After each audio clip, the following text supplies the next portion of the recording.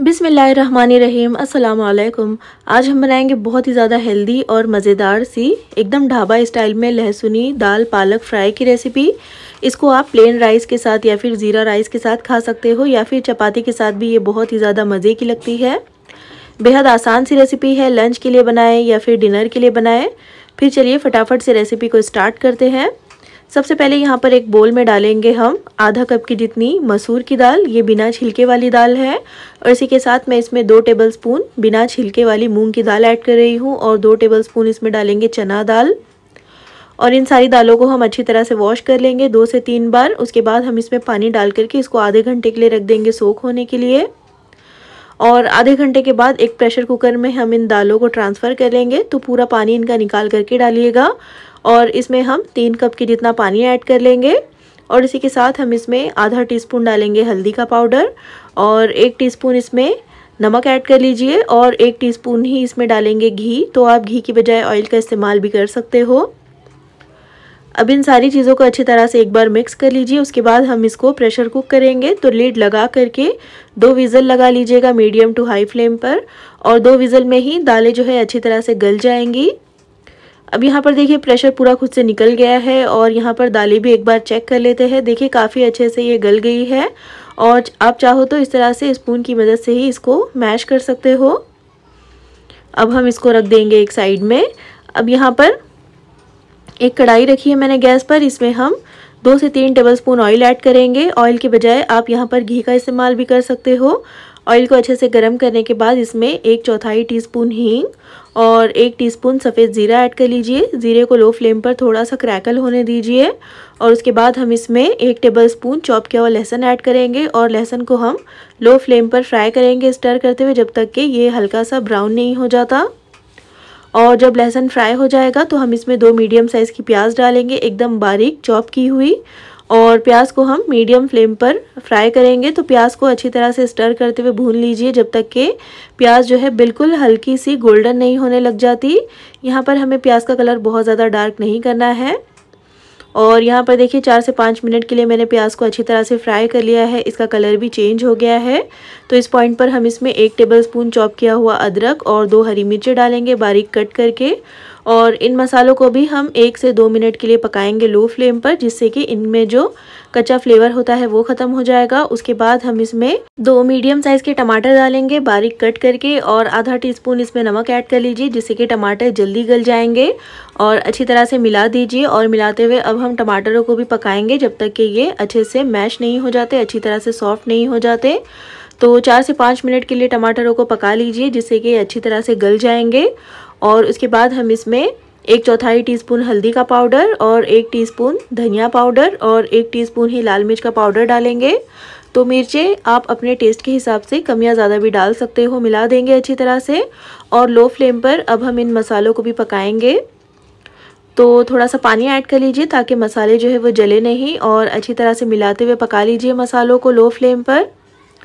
और दो से तीन मिनट में ये मसाले अच्छी तरह से पक जाएँगे। तो उसके बाद हम इसमें दो बंच की जितनी पालक जिसको कि मैंने अच्छी तरह से वॉश करने के बाद इस तरह से बारीक बारीक कट कर लिया है, वो डालेंगे।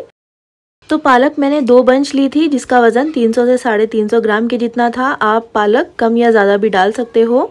पालक को भी अच्छी तरह से मिलाते हुए अब हम मसालों के साथ पकाएँगे। इस वक्त ये आपको बहुत ज़्यादा दिख रही होगी क्वांटिटी में।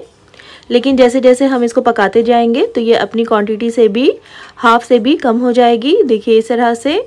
और अब हम पालक को भी दो से तीन मिनट के लिए पकाएँगे कवर करके, जिससे कि इसका कच्चापन भी ख़त्म हो जाएगा और ये अच्छी तरह से पक भी जाएगी।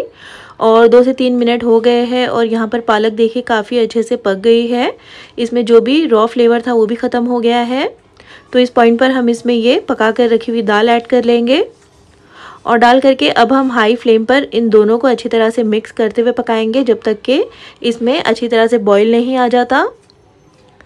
और जब ये अच्छी तरह से पकने लगेगा तो हम इसको कवर करके पकाएँगे जिससे कि दाल और पालक जो है वो आपस में अच्छी तरह से मिलजुल जाएँगे। आधा टीस्पून मैं इसमें नमक ऐड कर रही हूँ क्योंकि थोड़ा सा कम लग रहा था।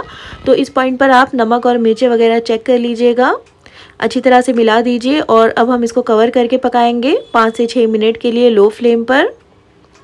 और जब तक ये पक रहा है तो यहाँ पर हम एक ज़बरदस्त सा तड़का बनाकर तैयार कर लेते हैं। तो एक पैन में तीन से चार टेबल स्पून घी ऐड कर लीजिए। तो तड़का जो है वो घी में ही लगाइएगा। टेस्ट बहुत ही ज़्यादा अच्छा आएगा। घी को अच्छी तरह से पहले मेल्ट कर लीजिए। उसके बाद हम इसमें आधा टीस्पून डालेंगे सफ़ेद ज़ीरा। ज़ीरे को थोड़ा सा क्रैकल होने दीजिए लो फ्लेम पर। उसके बाद इसमें दो से तीन सूखी लाल मिर्चें ऐड कर लीजिए। और इन लाल मिर्चों को भी लो फ्लेम पर ही फ्राई कर लीजिए कुछ सेकेंड्स के लिए। उसके बाद हम इसमें 12 से 15 लहसुन की कलियों को इस तरह से बारीक बारीक स्लाइस करके डालेंगे। क्योंकि हम ये लहसुनी दाल पालक बना रहे हैं तो लहसुन का इस्तेमाल थोड़ा सा ज़्यादा ही करेंगे। तो लहसुन को थोड़ा सा फ्राई कर लीजिए। इस तरह से जब ये हल्का सा गोल्डन हो जाएगा तो 10 से 12 इसमें कड़ी पत्ते ऐड कर लीजिए। इसको भी अच्छी तरह से मिला करके स्टर कर लीजिए। उसके बाद हम गैस की फ्लेम को ऑफ़ कर देंगे। और अब हम आ जाते हैं दाल की तरफ़। तो यहाँ पर दाल को भी पकते हुए तकरीबन पाँच मिनट हो गए हैं। और एक बार इसको अच्छी तरह से मिक्स कर लीजिए।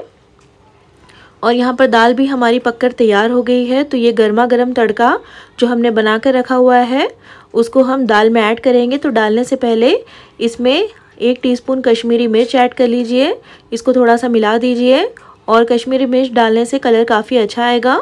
और ये गर्मा गर्म तड़का जो है हम दाल में पोर कर देंगे और इसके बाद हल्का सा इसको मिक्स कर लीजिए। बहुत ज़्यादा इसको मिक्स मत करिएगा और गैस की फ्लेम को ऑफ़ करके अब हम इसको कवर कर कर रख देंगे तकरीबन पाँच से दस मिनट के लिए। और 10 मिनट के बाद आप इस मज़ेदार और बहुत ही ज़्यादा डिलीशियस सी लहसुनी दाल पालक को गर्मा गर्म सर्व कर सकते हो। तो आप इसको स्टीम राइस के साथ ज़ीरा राइस के साथ या फिर पराठे, चपाती, पूरी किसी के साथ भी खा सकते हो। बहुत ही ज़्यादा मज़े की लगती है ये खाने में। आप इसको लंच बॉक्स के लिए भी बना सकते हो। बेहद आसान सी और बहुत ही ज़बरदस्त रेसिपी है। ट्राई इसको एक बार ज़रूर कीजिएगा। लंच के लिए बनाए डिनर के लिए बनाए, बहुत ही ज़्यादा ज़बरदस्त और मज़े की ये बनकर तैयार होती है। तो भी ट्राई ज़रूर कीजिएगा और अगर रेसिपी पसंद आई हो तो प्लीज़ इसको लाइक और चैनल को सब्सक्राइब करना बिल्कुल भी मत भूलिएगा। और कमेंट में ज़रूर बताइएगा कि आपको ये रेसिपी कैसी लगी। तो फिर इन मिलते हैं नेक्स्ट वीडियो में एक और बहुत ही अच्छी सी रेसिपी के साथ। तब तक के लिए अल्लाह हाफिज़।